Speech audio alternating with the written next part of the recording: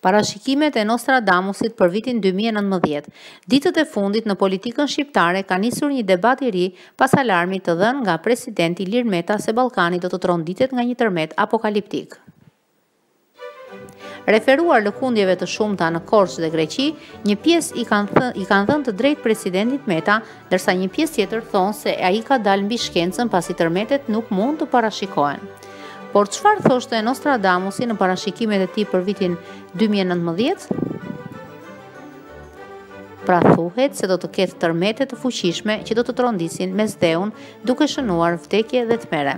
Në vitin 2019 do të ketë tërmete të fuqishme që do të trondisin Mesdheun, vdekje dhe tmerre pa fund. Ky ishte parashikimi i Nostradamusit.